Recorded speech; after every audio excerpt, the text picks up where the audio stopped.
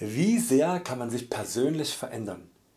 Wie sehr ist man darauf festgelegt wer man ist? Was ist möglich? Das will ich Euch heute zeigen. Guten Morgen! Ich war nicht immer der nette Mensch der sich für vegane Ernährung und ein bewusstes Leben eingesetzt hat. Viele die mich schon länger verfolgen wissen ich war ein vom Geldstreben zerfressener und nach Anerkennung lechzender Mensch gewesen. Ich möchte Euch heute ein paar anschauliche Beispiele geben was für ein Mensch ich gewesen bin und das dem Menschen gegenüberstellen den ihr heute vor Euch seht, wie ich mich geändert habe. Einfach um Euch Mut zu machen, was potenziell möglich ist, wie stark und wie sehr man sich verändern kann in seinem Leben, dass man nicht darauf festgelegt ist, ja, auf das Leben was man bisher gelebt hat. Man kann daraus. Und auch möchte ich zeigen, dass das keine Altersbegrenzung dafür gibt. Das heißt nicht, dass ihr mit 16 oder mit 18 dann noch gut anfangen könnt euer Leben zu ändern und euch zu verändern, sondern auch schon mit 30, mit 35 Jahren ist das auch noch möglich und sicher auch später. Aber ich rede heute von mir, von meinen Erfahrungen, die ich euch, mit Euch heute teilen möchte. Und ja, angefangen hat es bei mir ja, mit meiner Persönlichkeitsbildung, wie auch immer in der Kindheit, äh, wie auch normal, äh, in der Kindheit und im Jugendalter, wo ich mich nachdem ich als fettes Kind, was ich nun mal leider war, äh, immer gehänselt und geärgert wurde, äh, so langsam mich daraus befreit habe und ein, ja, eine, Lösung gefunden, gefunden, äh, eine Lösung finden wollte. Und die Lösung war für mich damals, und das sage ich einfach so wie es ist, Gewalt. Es war einfach Gewalt. Ich habe andere Mitschüler mich nicht mehr ärgern lassen, sondern ich habe mich gewehrt. Ich habe meine vielen Kilos ähm, ja, genutzt und äh, ich habe geschlagen und ja, habe mir einen Ruf als Brutalo erkämpft, auf den ich damals total stolz war. Ne? Ich bin brutal, weil so hatten die Menschen Angst vor mir und haben mich in Ruhe gelassen. Und das war sozusagen so eine Art Abschreckungs, Abschreckungsinstrument, äh, um diese Menschen fernzuhalten von mir. Und ja, so hat es dann angefangen bei mir in der Persönlichkeit, ausgehend von ja, einer ungesunden Ernährung, so muss man das einfach sagen, weil sonst wäre ich nicht so fett gewesen. Ich habe mich dann immer mehr isoliert und mich immer mehr alleine zu Hause verkrochen und Computer gespielt. Und ich habe eigentlich nicht wirklich Freunde gehabt. Also das sage ich zum jetzigen Zeitpunkt mit dem jetzigen Wissen was Freundschaft bedeutet und was es bedeutet liebe Menschen um sich zu haben. Und damals außerhalb der Familie ja, muss man einfach so sagen, ich hatte keine Freunde. Natürlich gab es Menschen mit denen ich draußen gespielt habe und mit denen ich mich auch unterhalten konnte im Schulalltag und so weiter. Ich wusste aber bei allen dass sie hintenrum ja, schlecht über mich geredet haben bzw. Äh, wenn es darum ging den Dicken dann auszulachen weil er wieder irgendwo hingefallen ist, ausgerutscht ist oder äh, beim Sport halt nicht äh, so gut war, naja, dass sie dann natürlich mitgelacht haben. Entsprechend, entsprechend hat sich bei mir dann in der Persönlichkeit so ganz stark manifestiert, dass ich es allen zeigen möchte. Ich möchte es der ganzen Welt zeigen, Anerkennung. Und äh, da kam der Wunsch nach viel Geld ins Spiel, gerade auch weil ich in Armut aufgewachsen bin. Und ja, das hat es dann quasi zusammengefügt. Anerkennung auf der einen Seite, Geld auf der anderen äh, Seite und von daher Anerkennung durch viel Geld. Das war so wie sich meine Persönlichkeit dann entwickelt hat im Jugendzeitalter. Die Geschichte kennt ihr wahrscheinlich auch zu Genüge ähm, mit diesem Geldstreben. Ich habe sie ja schon einige Male in den Videos thematisiert. Ähm, ich habe BWL studiert, dann im öffentlichen Dienst gearbeitet und dann nach zwei Jahren mich selbstständig gemacht, ja, um einfach schnell so viel Geld wie möglich zu verdienen. Äh, das ausführliche wie gesagt zig andere Videos äh, wo ich das Euch dargestellt habe. Ich möchte heute eher so auf meine Persönlichkeit, wie, sie, wie sich die Persönlichkeit entwickelt hat, da eingehen. Menschen waren für mich in dieser Zeit im Endeffekt nur Beiwerk ich habe eine Mauer um mich herum aufgebaut und ja, aus diesem sicheren Palais quasi ähm, ja, operiert. Eventuell erkennt sich, erkennt sich ja der ein oder andere wieder mit dieser Mauer. Ich ähm, ja, habe dann ja, über diese Mauer quasi mit Steinen geworfen. Ich habe ähm, ja, andere Menschen provoziert, ich habe andere Menschen manipuliert, ich kam immer an erster Stelle, meine Wünsche und meine Bedürfnisse.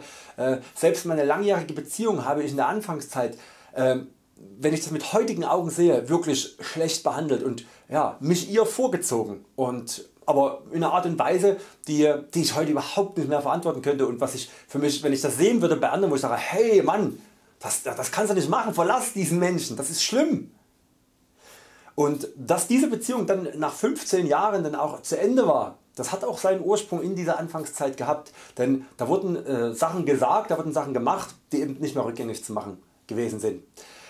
Ja, ich habe mich auch in der Anfangszeit verstellt, wie gesagt Manipulation, ja, um dem, dem potenziellen Partner zu gefallen, Dinge gemacht habe, die ich eigentlich keine Lust hatte, nur mich quasi ja, zu präsentieren und ähm, ja, diese, diesen wunderbaren Menschen quasi äh, ja, zu gewinnen.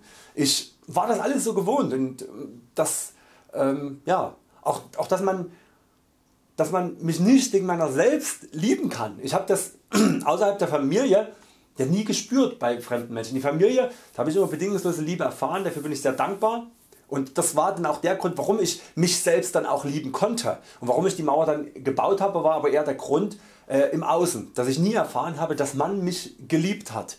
Vom Außen, nicht die Familie. Und ja und, und dann, ja also ich habe mich wie gesagt selber geliebt hinter einer hohen Mauer und habe dann entsprechend auch ausgehend von meiner Erfahrungen und äh, den Verletzungen dann auch auf die anderen Menschen herabgeblickt und mich für was Besseres gehalten. Meine Verhaltensweise die auch heute noch immer wieder mal durchscheint wenn ich meine Videos betrachte. Ich erkenne mich immer wieder diesen Christian der im Jugendzeitalter ähm, und dann auch in den 20ern und selbst am Anfang der 30er dann auch noch ähm, der immer auf andere Menschen herabschaut. Ja? Und ihr müsst euch vorstellen, ich habe vor zwei Jahren mit der veganen Ernährung angefangen. So. Und Klar habe ich mich intensiv zwei Jahre jetzt damit beschäftigt, aber oft in den Videos wenn es um Ernährung geht, rede ich als würde ich schon 20 Jahre vegane Ernährung machen. Deswegen relativiere ich, so, so denn ich immer wieder dran denke, ähm, relativiere ich, sage das ist meine Meinung, das ist meine Erfahrung. Aber ich habe noch dran zu kämpfen. Ich muss wirklich ähm, ja, immer noch diesen, diesen Kreislauf der da entsteht, dieses, dieses Mauerbilden ist nicht mehr da. Also die Mauer die habe ich glaube ich komplett eingerissen. Aber dieses sich etwas erheben über andere Menschen und ähm, deswegen ist es auch so ein großes Videothema bei vielen Videos bei mir, ähm, dass ich halt immer wieder darauf hinweise, dass wir wirklich alle gleichberechtigt sind und ja, also ja, also wie gesagt, ähm, ich bin auf jeden Fall heute, das möchte ich auch an der Stelle mal sagen, ähm, auch dankbar meiner Freundin, dass wir also der Freundin mit der ich 15 Jahre sozusagen zusammen gewesen bin, dass wir auch heute noch eine freundschaftliche Beziehung führen können und offen und äh, ja, wirklich über alles reden können und ja, auch über die, die schwierigen Zeiten die wir gehabt haben. Und ja, beim Geldverdienen dann entsprechend auch wie bei der Anerkennung rigoros gewesen. Ja, äh, ich habe ja wie ihr wisst unter anderem Online Poker gespielt und dort ist es eben so dass man das Geld von den Spielern bekommt die eben betrunken sind, die spielsüchtig sind und oder äh, sich dabei verschulden. Und dabei habe ich dann immer geprahlt und im Pokerforum meine Graphen gepostet und wie viel Geld ich verdiene. Dazu noch schlechtere Spiele aufgezogen, dass wieder dieses, dieses ähm, die sich erhaben fühlen oder, oder Menschen im Forum mit erfundenen Geschichten emotional provoziert. Immer wieder um meine Macht, meine Macht zu beweisen, ne? dass ich andere Menschen manipulieren kann, um mich selbst aufzuwerten. Das war meine Persönlichkeit, ausgehend von der Kindheit in der Jugend und das hat sich dann wie gesagt 20er Jahre würde ich sagen fast noch komplett ähm, ja, bis in die 30er dann reingezogen. Und immer auf der Suche nach Anerkennung, Selbstbestätigung, immer um mich zu erheben, um mich als etwas Besseres zu fühlen. Und es hört sich so widerlich an im heutigen Mindset, aber es war so. Und es ist wichtig das auch zu benennen und nicht zu sagen hey die Zeit das gab's nicht oder sowas. Nein die Zeit gab es, das war ich auch gewesen.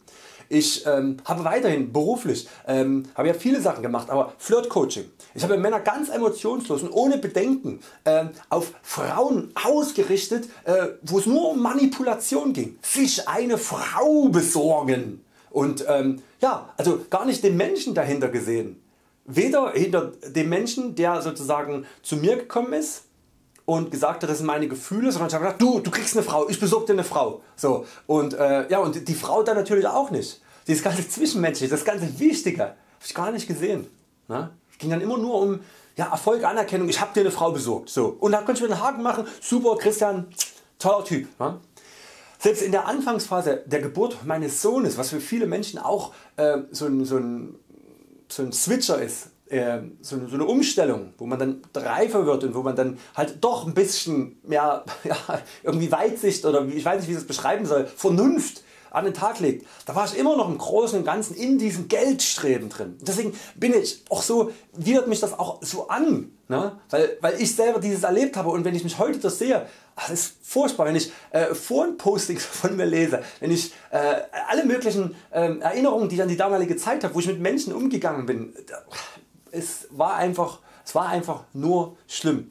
Und ja, irgendwann war dann äh, das, das, Poker nicht mehr so gut gelaufen, weil die anderen Spieler immer stärker wurden. Es gab mal eine Zeit im Online-Poker, wo das so angefangen hat, wo es relativ einfach war Geld zu verdienen und irgendwann ja, wurde es immer schwerer, weil natürlich wo es einfach ist Geld zu verdienen, die Menschen hingezogen werden und ja und in der Zeit habe ich dann auch so Tendenzen zur Spielsucht gezeigt und da kam auch so, so, so aus der Geldebene ähm, auch so ein bisschen umdenken. Äh, viele der Abonnenten die mich schon lange verfolgen kennen Sie ja das Video zur Pokerspielsucht. Ich habe da schon mal ganz am Anfang ein Video gemacht, da war das ja noch relativ frisch. Ähm, verlinke euch das wenn ich das noch finde in den 1200 Videos. Ja und, äh, ja, und ähm, dann kam das sozusagen auch mit dieser Spielsucht, also mit diesen beruflichen Sachen und ähm, ja, und dann habe ich dann einen Schweigeretreat gemacht, ich habe wochenlang meditiert, ich habe mich in die Religion geflüchtet, ich habe mich natürlich auch informiert, ich habe meine Bewusstheitsmodelle gemacht mit der Glücksquantifizierung, die ich auch schon häufig ange, ähm, euch, euch vorgestellt habe ja, und habe dann noch aufgehört irgendwann dann Geld zu verdienen und mich dann wirklich damit beschäftigt. Ich habe mh, aufgehört in Foren andere Menschen zu dissen oder zu provozieren, äh, mich teilweise dann sogar auch entschuldigt dafür. Dann äh, ja, habe ich so eine Zeit lang äh, dann ja, wieder noch versucht so alles so na, in, in, in, in normale Bahn zu lenken. Irgendwie ich dachte, ja, ich, ich drehe jetzt ab, ich bin ein bisschen so esoterisch und spirituell geworden. Du musst jetzt wieder zurück zu den Basics. Aber diese Basics damals war dann halt auch irgendwie doch das Geld verdienen. Ne? Und ich habe mich dann noch nicht komplett äh, frei machen können. Und dann habe ich wieder gespielt und ähm, habe äh, dann auch Geld verloren. Und äh, ja, irgendwo war, ist in meinem Kopf dann in der Zeit dann so langsam, das war ein ganz fließender Prozess, ne? das war nicht jetzt dieses Ereignis, aber ja, dann hatte ich irgendwie gemerkt, hier geht es nicht weiter. Ich habe das schon oft thematisiert äh, mit, diesem, mit, diesem, mit dieser Umstellung von diesem Geld verdienen hin zu Geld widert mich an, ich brauche Geld. Und das war genau die Zeit. Mm, und beim Poker war es damals so unabhängig ob man gewinnt oder verliert, ähm, du die Spielsucht in der damaligen Zeit ähm, das war das Problem, das große. Man will immer wieder ähm, ja, in die Gewinnzone. Man möchte sozusagen nicht mit Verlust abschließen die Session. Und äh, da hat man nächtelang durchgezockt, da hat man sich mit Cola zugeballert und so weiter. Ihr könnt euch vorstellen was das für ein Leben war. Und das waren wichtige Momente im Nachgang. Die, die Aufarbeitung mit meiner Freundin bezüglich meines Verhaltens in unserer Beziehung und auch generell mein Verhalten in, im Internet, in Foren und äh, ja, mit, mit anderen Menschen im Alltag, das war wichtig für mich. Dass ich mir endlich auch mal diese Zeit genommen habe, das war wichtig. Deswegen betone ich auch immer wieder, wenn man so in diesen Kreislaufen drin ist und alles läuft halbwegs gut, man hat ein sicheres Einkommen und äh, man, man hat ein Haus und man hat Familie und so weiter, fährt einmal im Jahr im Urlaub, es ist so unglaublich schwer da rauszukommen. Deswegen wenn manchmal Leid kommt, egal ob das jetzt berufliches Leid ist, persönliches Leid oder also entweder eine Krankheit oder Jobverlust und, und so weiter, Existenzängste, dann äh, dann sind das Chancen, das sind Chancen auszusteigen. Und ähm, ja, das sollte man sich auch immer wieder bewusst machen. Ja und dann kam dann irgendwann ähm, in dieser Phase wo ich schon immer gemerkt habe oh, irgendwas ist hier nicht in Ordnung ähm, wo ich dann auch gemerkt habe nein Geldstreben ist definitiv nicht das Richtige. Die Zeit wo ich dann, dann experimentiert habe. Und das war dann die Zeit wo ich dann auch Veganer wurde. Wo ich Dabei war all diesen respektlosen Scheiß den ich mir geleistet habe und das ganze Geldstreben um Anerkennung zu gewinnen und ähm, äh, um, um mich zu erheben überwinden wollte. Ich wollte ein besserer Mensch werden. Und dann hatte ich plötzlich die Chance und die, ja, den Willen äh, sogar zu den Guten zu gehören. Plötzlich respektvoll mit den Menschen umzugehen, sie offen zu lieben, ihnen zu helfen und ihnen auch meine Schwächen zu offerieren.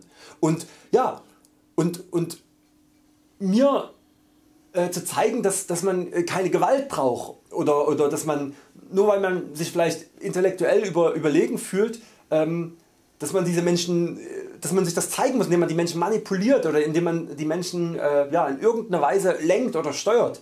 Ähm, ja, und das was ich sozusagen die ganze Zeit jahrelang gemacht habe.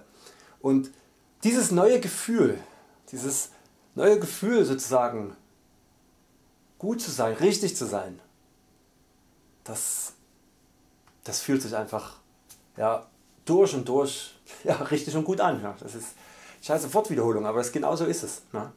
Das Gefühl fühlt sich gut an. Es fühlt sich richtig an. Es ist, es ist wunderbar an diesem Punkt im Leben angekommen zu sein. Zu wissen, das was ich jetzt tue, das fühlt sich, mich, es fühlt sich durch und durch richtig und es fühlt sich durch und durch gut an. Ne? Und wenn ich jetzt sterben würde, dann hätte ich das Gefühl, wenn man so im letzten Moment doch noch rekapitulieren kann, ja, ich habe es geschafft, ich, ich habe es dann noch erlebt, ich habe das erlebt, was Leben bedeutet und wie Leben zu sein hat. Und ja, mir fiel es in diesen Momenten, gerade in der Anfangszeit äh, in dem Vegansein, eigentlich so wie, wie Schuppen von den Augen, ja, was Menschsein bedeutet. Ne? Das ist nicht der Einzelkämpfer, der alles äh, platt macht und der Karriere macht und, und so weiter, sondern das ist jemand, der sich um andere kümmert, der versucht eine, eine Ausgewogenheit im Leben von allen Lebewesen irgendwo zu erreichen, nach seinem besten Wissen und Gewissen. Mensch ist fehlbar, keine Frage. Und, aber dann so, und deswegen auch das Video, wurde mir so in den letzten Wochen, Monaten schon klar, dass gerade weil ich so ein unbewusstes Arschlochleben gelebt habe, daraus die Kraft und den Mut auch gezogen habe, meine Liebe zu den Menschen auch tatsächlich jetzt so zu leben und so bedingungslos zu leben und ich kann das glaube ich auch schon so sagen, so extrem zu leben, wie es den Anschein hat im, sag ich mal, im gesellschaftlichen Kontext. Das wirkt halt wie so ein verschrobener Hippie und äh, da ich früher das komplette Gegenteil war, war das eine, eine, Riesensache, das, dahin zu kommen. Und ich glaube, das, das konnte ich nur deswegen machen. Das konnte ich nur deswegen machen, weil ich mich und meine Geschichte, wie ich gewesen bin, weil mich das in irgendeiner Weise auch angewidert hat und immer noch anwidert, wenn ich dann zurückdenke. Aber es ist notwendig gewesen. Es ist notwendig gewesen. Und ja. Und das war ja eigentlich die Krux. Ich habe die Menschen eigentlich schon immer geliebt. Aber diese Weichheit, die damit einhergeht, ich konnte sie nie zulassen, weil ich sozusagen verletzt wurde. Ähm, ich war im Endeffekt auch noch nicht reif dafür. Ich mache weder meinen Mitschülern von damals oder anderen äh, irgendwie einen Vorwurf, auch mir selber mache ich keinen Vorwurf. Es sind die Dinge passiert wie sie einfach passiert sind. Das liegt in der Vergangenheit. Das, äh, ja, das, da ist nichts mehr dran zu ändern. Aber eine ganz essentielle Botschaft ist daraus entstanden. Für mich und eben hoffentlich auch für Euch. Es ist möglich dass Menschen sich von Grund auf ändern. Wenn ihr Euch scheiße verhalten habt und Blödsinn in eurem Leben gemacht habt, dann heißt das nicht dass ihr das immer weiter tun müsst. Ihr könnt aufstehen und etwas ändern. Ihr könnt Euch ändern. Zu jeder Zeit ist dieses möglich. In jedem Alter. Davon bin ich überzeugt. Lasst die Vergangenheit hinter Euch und fangt an zu diesem Zeitpunkt jetzt mit eurem neuen Leben ja, Freund zu werden und zu sagen, jetzt, ich hab's doch im Kopf, ich weiß was ich will, ich mach das jetzt, ich mach das jetzt. Jeder Zeitpunkt der sozusagen in der Zukunft liegt, das ist zu spät, fangt heute damit an, so zu sein wie euch richtig anfühlt. Scheißegal wie, wie sich Leute dann auch wieder darüber ähm, ja, echauffieren in eurem Umfeld oder, oder sich lustig dann machen oder so weiter. Aber wenn ihr das Gefühl habt, es ist richtig, es ist richtig, es ist gut, dann macht es. Dann macht es. Ihr werdet es nie bereuen etwas zu tun wovon ihr wirklich aus vollster Seele überzeugt gewesen seid. Und ja, und ich hoffe dass ihr, dass ihr an meinem Beispiel erkennt dass, dass dies möglich ist und ich Euch vielleicht ein bisschen Mut machen kann diesbezüglich da in Euch zu gehen und zu sagen hey komm jetzt, jetzt bin ich auch mal, jetzt gehöre ich auch mal zu den Guten, jetzt fange ich auch mal an die Dinge so zu tun wie ich sie tun möchte. Und das ja, musste einfach mal raus. Ähm, ich muss trotzdem, also ich bin kein Heiliger, nach wie vor nicht, ne? ich muss trotzdem noch weiter an mir arbeiten. Ähm, ich bin dankbar dafür dass ich von Euch so ehrliches und kritisches Feedback erhalte äh, und äh, dass ihr auch zu schätzen wisst dass ich Euch ebenso ehrlich und offen gegenüber trete. Wir sind alle nicht perfekt, wir haben alle unsere Schwächen, wir haben alle immer unser Ego was irgendwo dann hervortritt. Wie gesagt bei mir ist es ähm, ja, in, in einigen Situationen äh, erkenne ich das sofort, kann ich sofort äh, mich davon befreien, in anderen kommt immer wieder durch und ich sehe das aus dem Nachgang. Da sind die Videos auch wunderbar, ich kann mich selber reflektieren. Bei gewissen Themen werde ich arrogant, ich merke das und umso besser immer wieder Euer Feedback. Äh, ja, und lasst uns einfach gemeinsam entwickeln. Ich habe die Chance mit YouTube mich mit Euch zu entwickeln und ihr habt aber ebenso die Chance Euch zu entwickeln. Und deswegen äh, bin ich auch immer ja, bereit und tue das auch immer wieder forcieren, dass ich sage, hey lasst uns treffen, lasst uns zum Rohkost Potluck treffen, ne? lasst uns Donnerstag gemeinsam äh, zum Live Talk miteinander sprechen und ja, einfach dass wir alle gemeinsam davon profitieren und die geistige Evolution einfach der Menschen vorantreiben. Ne? Alte Verhaltensmuster abstreifen, durch neue, gute, richtige einfach ersetzen. Ich weiß das klingt für den einen oder anderen vielleicht ein bisschen idealistisch und ein bisschen abgehoben, aber es ist einfach es fühlt sich einfach richtig und gut an. Wir haben alle die Chance dazu ähm, dieses zu tun und ja, es liegt einfach an jedem selbst das auch wirklich in die Tat umzusetzen.